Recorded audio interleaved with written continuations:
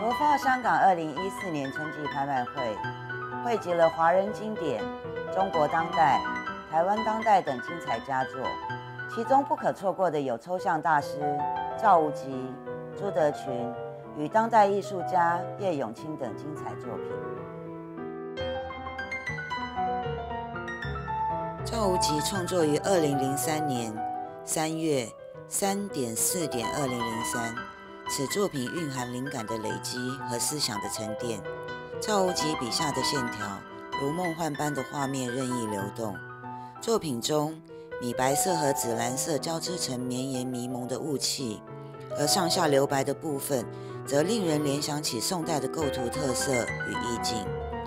宛如一幅诗意盎然的残景。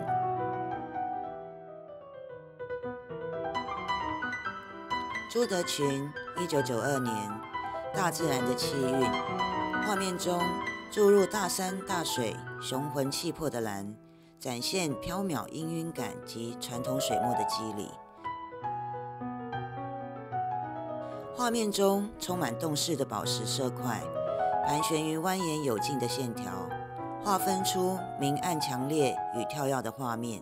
堪称朱德群终身信仰艺术开花结果之作。在海峡两岸，有中国现代绘画先驱、现代水墨画之父之称的台湾著名艺术家刘伯松，早在上世纪六零年代就积极宣导创新现代中国水墨画，提出中国画的现代化技术。此幅《天山之秋》，画面凝结、透明且立体的肌理，感觉又充满传统技法。刘国松先生发明了拓墨法和积墨法，使得本作品既有中国画的风骨，又不失油画的质感，的确值得艺术爱好者隽永收藏。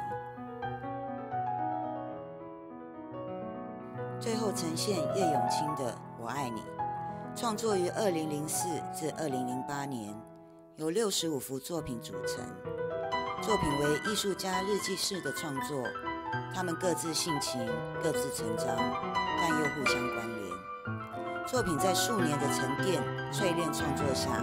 构成一个浑厚丰美的整体，实为叶永青展现硕大之美的罕见之作。